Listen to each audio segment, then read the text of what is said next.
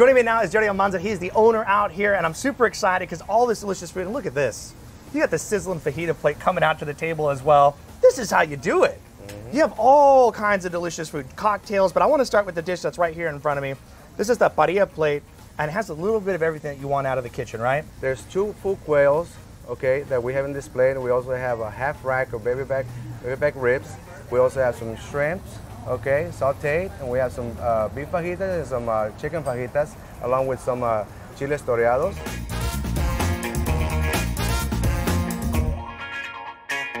The parilla plate comes with so many different items, and there's two different versions. The one that I got has quail, beef, and chicken fajita that's on there, a little bit of rib action, some shrimp on the side, a little bit of everything for everyone, and enough to share.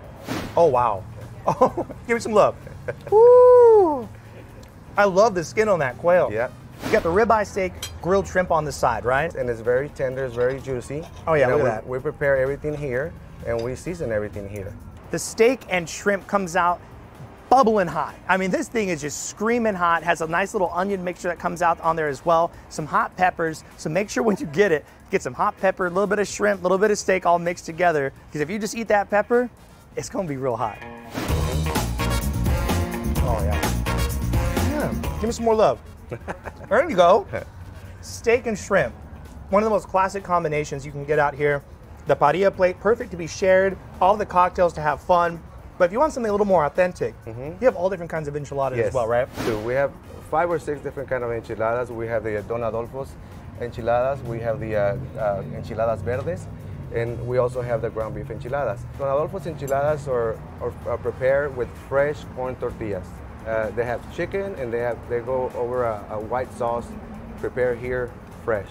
It's a lot of things going on over there. I'm super excited. Here's the bite. Right? Put that sauce on everything. Oh my goodness, you can get that sauce poured on the steak Yeah. right here. Yes. You ever have anybody just come in asking what's what for that sauce? We do. We do. They come here for that sauce. Oh my goodness.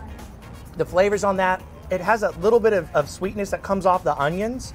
Super creamy, very delicate, really light as well. The corn tortillas that are on there really help make it delicate, like Yes. you want them to be. Yes.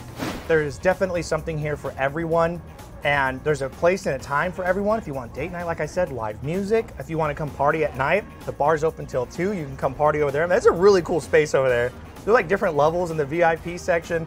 Um, but the appetizers and the food are definitely why I would want to come back with my family and enjoy ourselves, especially out here on the patio.